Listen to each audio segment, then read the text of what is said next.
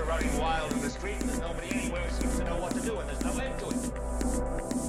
We know the air is unfit to breathe, and our food is unfit to eat.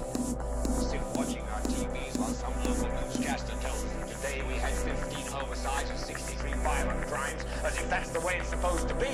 We know things are bad, worse than bad. They're crazy. It's like everything everywhere is going crazy, so we don't go out anymore.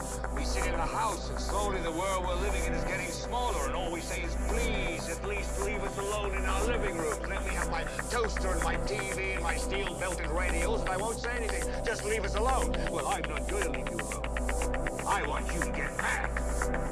I want you to protest. I don't want you to I don't want you to write to your congressman because I wouldn't know what to tell you to write. I don't know what to do about the depression and the inflation and the Russians and the crime in the street. All I know is that first, you've got to get mad.